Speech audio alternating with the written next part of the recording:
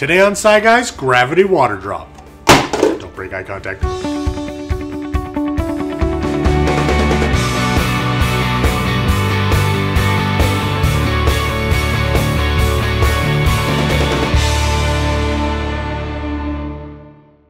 Welcome to Sci Guys. I'm Ryan. And I'm Mark, and on today's episode, we'll be doing a gravity water drop.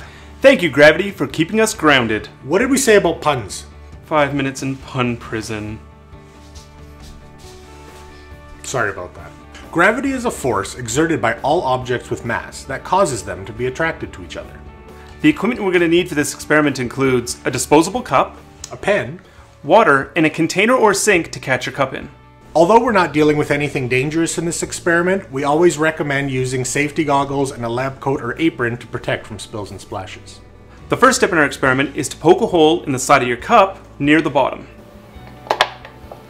For the next step, simply take the cup, cover the hole we made with your finger, and fill the cup with water.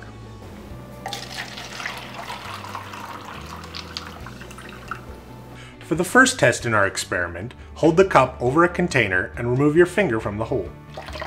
When your finger has been removed from the hole, you'll notice that water will begin to pour out of the hole into your container. The second test of our experiment is to hold your cup of water over a container with your finger covering the hole and drop it. The cup fell really quickly. Let's watch that again, but this time in slow motion. If you watch very carefully, you'll notice that the water in the cup doesn't pour out of the hole as it falls.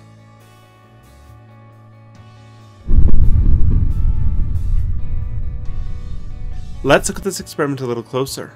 Gravity is the phenomena by which all things with mass are brought toward each other. Without gravity, we wouldn't be standing on the ground, but instead floating into space.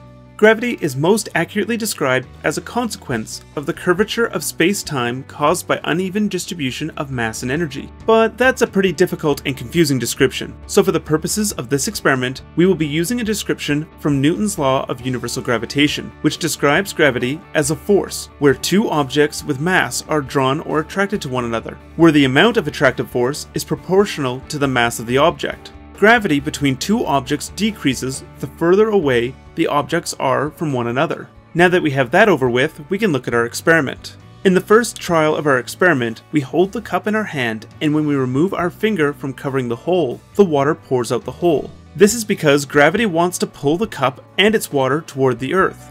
Our hand is strong enough to resist gravity's pull on the cup, but since there's a hole in the cup and nothing holding the water, gravity will pull the water through the hole in the cup because it's the easiest path to the ground, accelerating it downwards toward the earth. In the second trial of our experiment, we dropped the cup at the same time as removing our finger from the hole, but as you saw earlier, the water didn't pour out of the hole while the cup fell to the ground. Why is that? When we drop the cup, gravity pulls on both the cup and the water at the same time, accelerating both of them towards the ground at the same rate, and causing them to land on the ground at the same time.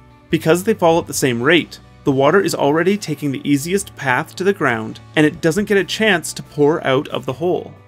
Well, that's it for Gravity Water Drop. Thanks for watching. If you enjoyed this episode, let us know in the comments below and subscribe for future episodes. And remember to like us on Facebook and follow us on Twitter. And if you have any questions related to this episode, or about science in general, let us know in the comments below or message us on Facebook and we'll try to help you as best possible.